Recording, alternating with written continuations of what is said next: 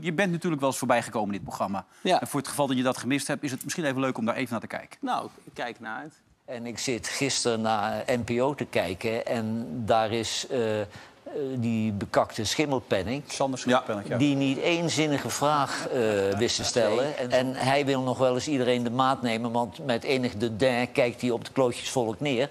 Maar hij bakte er zelf geen flikker van Hij bakt, gisteren. er, hij bakt er helemaal niks van, vind ik. Ja, die jongen die was eh, zo gepikeerd, hoorde ik... eh, dat ik laatst gezegd heb dat hij die talkshow niet zo goed doet. Ja, het heeft hij een stukje opgestuurd waarin jij ooit een compliment aan mij uitdeelde. Ja, maar dat was voor een ander programma. En ik wil hem dan nu, omdat hij anders misschien in een dipje zit...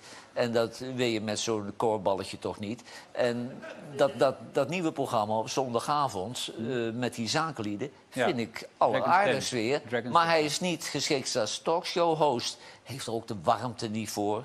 Overigens wel geschikt om aan die tafel te zitten. Ja. En af en toe zijn mening te Doet hij geven. prima.